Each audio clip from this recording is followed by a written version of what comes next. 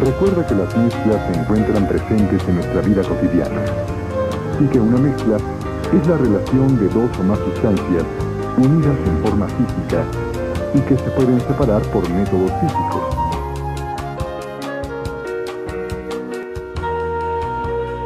Las mezclas pueden ser homogéneas, en las cuales sus componentes se encuentran distribuidos uniformemente como en las soluciones. También existen las mezclas heterogéneas.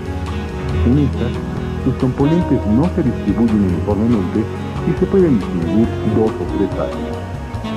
Dentro de este tipo de mezclas están las suspensiones y los coloides. Las mezclas homogéneas o heterogéneas se pueden separar por métodos físicos y así obtener las sustancias de que están formadas. No te jalo muy bien, Oye, ay, ándale, toca. A ver si sale ahora. Ay, siempre te Es que tengo que ir por, por ti, porque si no, no sale. Ay, Buenos días, muchachos. Buenos días, Hola, ¿cómo estás?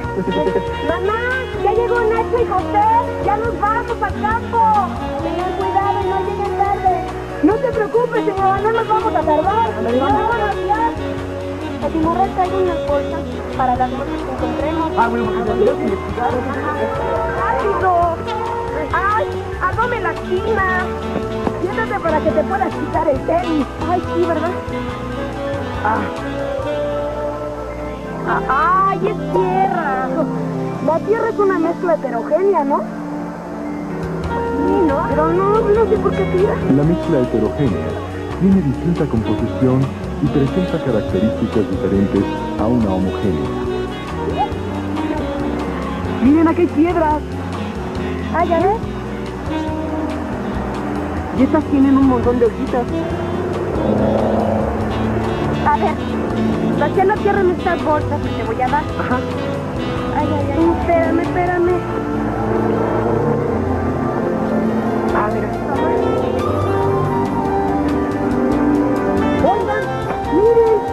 Ahí hay una cueva. Mira, sí, mira, a ver, espérame, que ponemos un zapato. A ver, ay, híjole, ya metí el pie en el lodo. ay, José. También el lodo es una heterogénea. Sí. Bueno, ¿qué les parece si vamos a ver qué hay dentro de la cueva? Ay, no, está muy oscura, tengo miedo. No te preocupes, nosotros te cuidamos, ¿verdad, José? Claro, los hombres siempre protegemos a las mujeres. Bueno, vamos. Vamos. Vamos.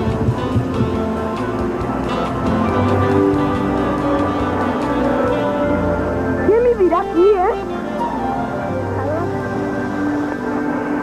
No se ve bien, está muy oscuro. Parece que alguien trabaja aquí. Muchachos, estas piedras tienen diferentes colores. Los minerales son otro ejemplo de materia heterogénea. Están bien bonitas. Yo las guardo.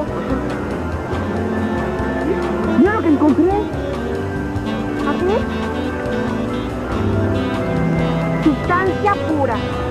Elemento I. Símbolo químico ZN. Compuesto de silicio y oxígeno. Nombre del compuesto cuarzo. Fórmula química SiO2 y SiO4. Esta es una sustancia pura, ¿no? Sí, Pero, ¿qué es una sustancia pura?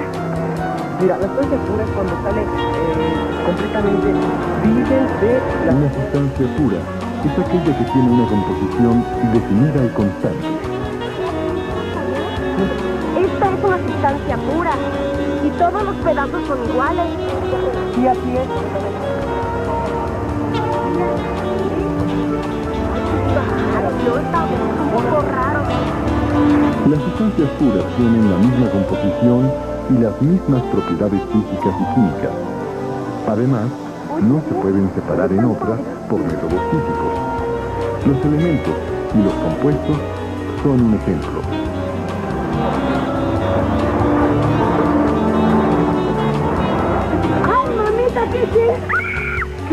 Qué pasa?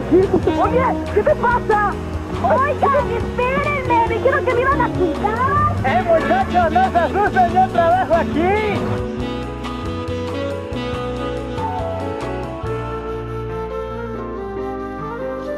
Una sustancia pura tiene una composición definida y constante. Presenta el mismo aspecto donde quiera que se vea, como el agua o el mercurio.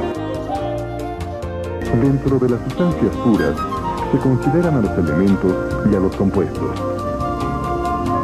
Una sustancia pura no se puede descomponer por procedimientos físicos.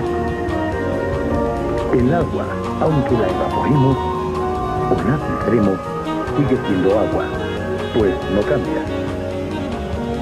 Cualquier característica que describe e identifica a una sustancia se considera propiedad. El azúcar la distinguimos por su sabor dulce. Al cloruro de sodio por su sabor salado. Las propiedades de las sustancias puras pueden ser físicas o químicas. Las físicas son aquellas que se determinan sin que ocurra ningún cambio en la materia. Por ejemplo, las organolépticas, que se perciben con los órganos de los sentidos. El olor, el sabor, el brillo, el color, la dureza o la transparencia. Existen también las constantes físicas que permiten caracterizar a las sustancias.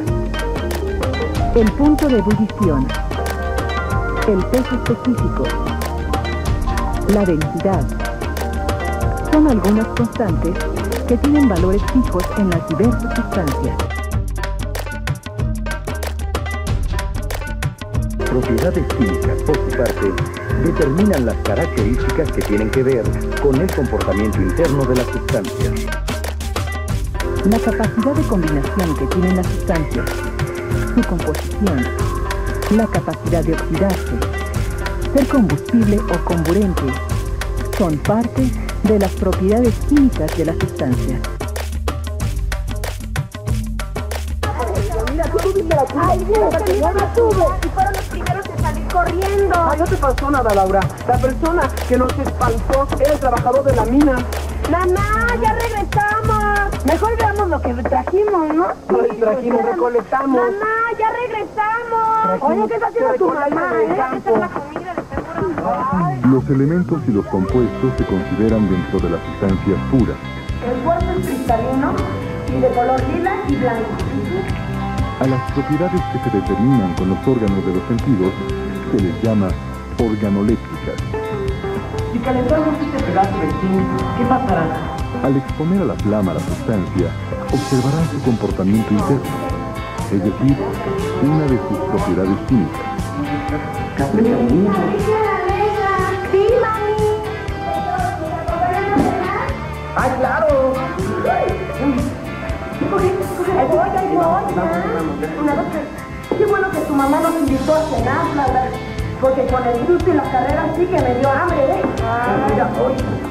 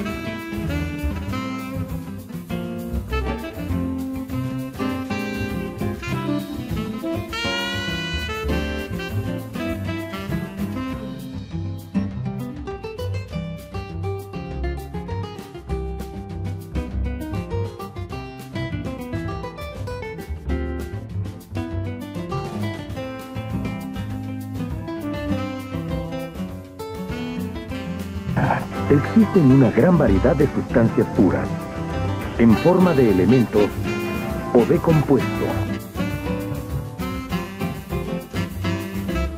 Una sustancia pura es aquella que tiene una composición definida y constante. Además, no se puede separar en otras sustancias por métodos físicos. Una sustancia pura presenta las mismas propiedades físicas y químicas en todas sus partes.